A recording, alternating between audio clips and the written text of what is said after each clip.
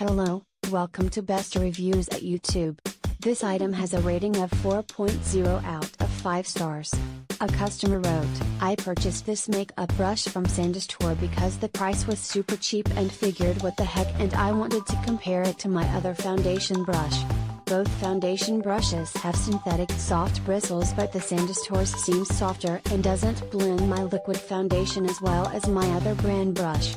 It has a wooden handle with black and synthetic bristles. If you are looking for an affordable makeup brush this brush may be for you but keep in mind it may work better for blush application and contouring rather than liquid foundation. Thank you for watching. Please give the thumbs up.